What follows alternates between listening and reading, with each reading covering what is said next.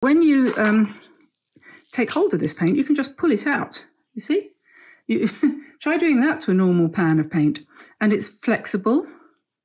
It's like rubber. You would think, you know, it's uh, it's just like vinyl. It feels like vinyl. You can bend it. See? It's interesting, isn't it? Twist it, nothing happens.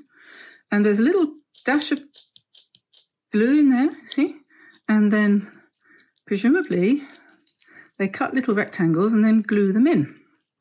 And it's amazing because the paint, although that's completely and utterly and totally dry, as soon as you pick up a brush and you touch the paint,